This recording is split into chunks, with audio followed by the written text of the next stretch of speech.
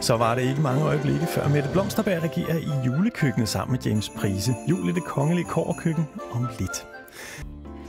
Lige nu skal vi nyde vores lille juleaften med en intelligent, rørende og sjov film. Den er fyldt med stjerner, Bill Nye. Vi er fuld gang med at pynte juleaftenstudiet her på DR1, og vi er blandt andet klar med en legendarisk hest Hold da kæft. En god hest. og hele fire bryllupper, Sorry. Men kun en enkelt begravelse. But I hope Joyful is how you would remember him. Og også kun en enkelt midnatsmesse fra Rom, men den er til gengæld meget stemningsfuld og højtidelig. Vi mødes til det hele juleaften på DR1.